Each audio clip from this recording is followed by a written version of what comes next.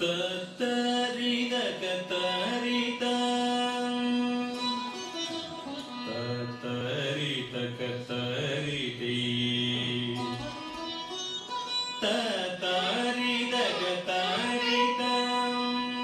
My name is Eliza Kent, and I'm a religion professor. I teach classes on Hinduism and the uh, Indian religious tradition.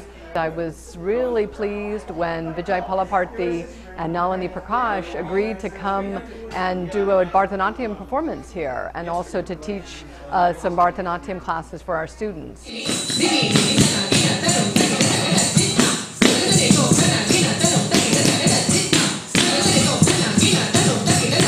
So the, the things that I really liked about this Bharatanatyam is that it's really, really expressive and then it tells stories. This is like the very thing that struck me much because if you know all the movements and the gestures, you can really understand the story and the plot, and they can tell a lot of things, and it's so different from the classical dance we're used to. The reason why this uh, performing art of Bharatanatyam is so spiritual and religious in nature is because it originally originated in the Indian temples of South India, specifically in Tamil Nadu, the state of Tamil Nadu in India.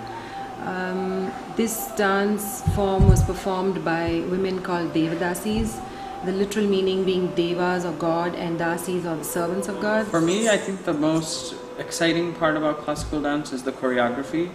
Um, I really feel energized by the ability to create dance, create movement.